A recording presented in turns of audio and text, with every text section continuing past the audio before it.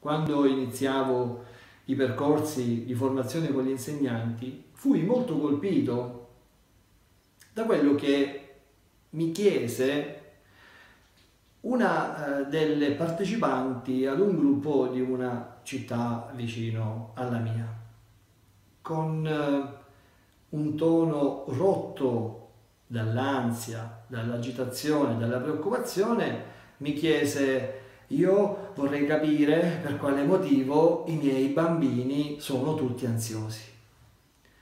Beh, è evidente che questa frase, come potete immaginare, suscitò l'ilarità del gruppo.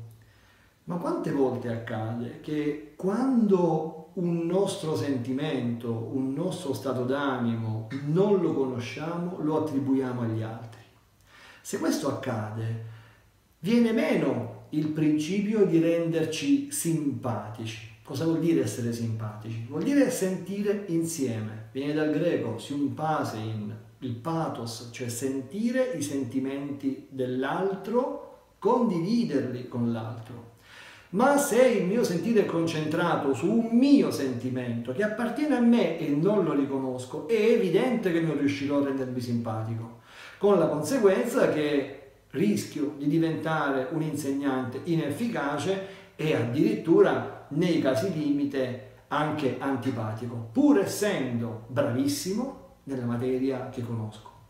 Immagino che anche voi conosciate tanta gente che può definirsi un luminare della propria materia, ma senza che abbia un metodo efficace di insegnamento. Il metodo efficace di insegnamento dunque è basato sul modo in cui una lezione viene posta, sapendo che dal feedback degli allievi io, insegnante, posso ricevere il grado di gradimento, perdonatemi il gioco di parole, e di efficacia con cui io mi rapporto agli altri. Solo in questo modo è possibile valorizzare i diversi talenti sapendo che ognuno da grande sceglierà un percorso differente e che non per forza farà della storia il suo mestiere, della matematica il suo mestiere o di qualunque altra materia la propria professione.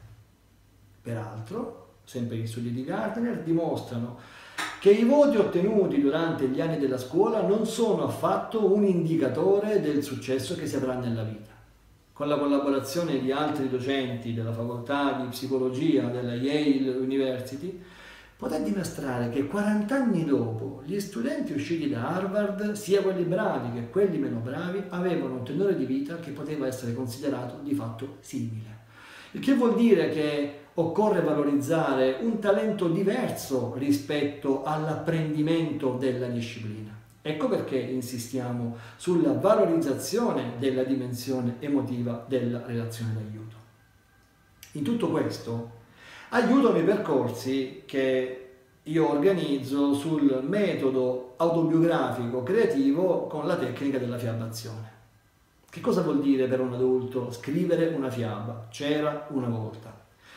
Vuol dire intanto scegliere immediatamente il protagonista chi è il protagonista, qualunque personaggio ci venga in mente. Ora, anche se in questo momento voi provaste ad immaginare un personaggio di fantasia che potrebbe essere il protagonista della vostra storia, bene, quel personaggio non nasce mai dal caso, è sempre un personaggio che ha una fortissima valenza simbolica che soltanto voi potrete scegliere di decodificare se vi darete il tempo necessario per farlo. Allora attraverso un percorso con la tecnica della fiabazione, un insegnante, un operatore, partendo dal mondo immaginario del c'era una volta, inizia a scrivere la propria fiaba, in cui parla dell'antagonista. Chi è l'antagonista del protagonista? Quindi del personaggio principale. Parla di una difficoltà, e di una risoluzione della difficoltà, perché il canovaccio della fiaba classica ci spiega come oggi, e come ci dice anche Vladimir Prop, la fiaba non vada considerata come uno strumento ludico per bambini, perché è uno strumento e nasce come uno strumento pedagogico che fondamentalmente è un esorcismo, cioè un portare fuori vedere da un vertice d'osservazione e riappropriarsi dei contenuti pedagogici che quell'insegnamento ci può dare.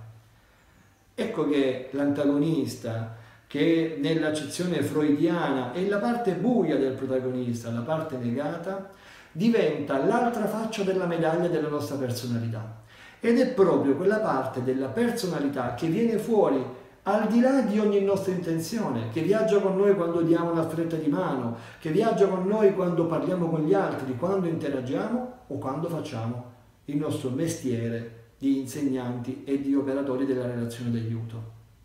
Solo che non incontrare mai l'antagonista o rifiutarsi di trovare una mediazione con l'antagonista rischia di metterci nella situazione di giocarci le relazioni, quelle personali e anche quelle educative. Noi infatti osserviamo e decodifichiamo il mondo dal vertice della nostra personalissima mappa di decodifica della realtà ma mentre applichiamo quella mappa, se non consideriamo tutto ciò che c'è intorno e ci limitiamo invece a credere che quella mappa sia l'osservazione oggettiva della realtà, commettiamo l'errore più grossolano che si possa commettere.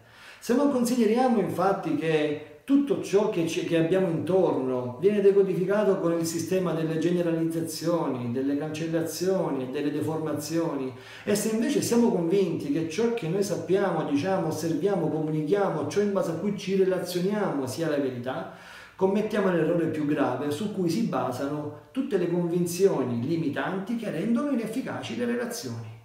Ecco a cosa serve una fiamma, a prendere consapevolezza di sé, a fare un percorso all'interno della propria storia personale, protetta dal gioco dei simboli e delle metafore, che ognuno può con il tempo e la pazienza dipanare per trovare chiavi di soluzione soltanto per avere delle relazioni più gratificanti con gli altri e avere di conseguenza una vita più felice e se stiamo parlando nel mondo della scuola anche una maggior efficacia, una maggior presa sulla scolaresca. Il principio da cui parte un percorso di formazione che io svolgo in presenza, ma che è anche disponibile in modalità uh, online su piattaforme learning, anche con l'abbinamento di attività creative prese ad esempio da svolgere anche con le scolaresche, quindi con le classi, il concetto di base si fonda sugli studi di Vladimir Prop intorno alla morfologia della fiaba. Prop, nei suoi studi, dice che dopo aver analizzato l'intera letteratura occidentale delle fiabe, che tutte le storie nascono dall'incrocio di 35 elementi fissi e ricorrenti. È impossibile dunque che si mettano in gioco questi 35 elementi all'interno della stessa storia. Tuttavia, prendere in considerazione quelli principali, protagonista, antagonista, difficoltà, viaggio e risoluzione della difficoltà, già fornisce all'autore di quella storia le indicazioni sulle quali è necessario e opportuno riflettere. Ecco, in questo modo la difficoltà, che nel linguaggio simbolico della metafora e la difficoltà del protagonista nasconde un nodo della nostra stessa esistenza. Avere la possibilità di portare fuori questo nodo, quindi creativamente, di poterlo osservare attraverso la finzione del foglio di carta che raccoglie in quel momento quella storia, permette di trasformare tutte queste informazioni da passato subito in storia. Ecco che cosa vuol dire acquisire consapevolezza? Sapere dalla base di cosa io parto per avere di me e del mondo che mi circonda l'idea che con il tempo, con la mia esperienza e con la mia formazione